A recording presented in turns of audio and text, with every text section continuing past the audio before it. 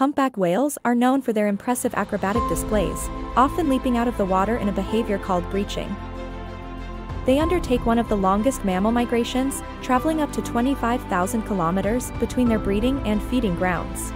Humpback whales can grow to lengths of 12 to 15 meters and weigh up to 40 tons. Humpbacks are known for their unique feeding technique called bubble net feeding, where a group of whales creates a net of bubbles to corral and trap prey. Mother humpbacks are known for their dedicated maternal care, nursing their calves for about six months and teaching them crucial survival skills.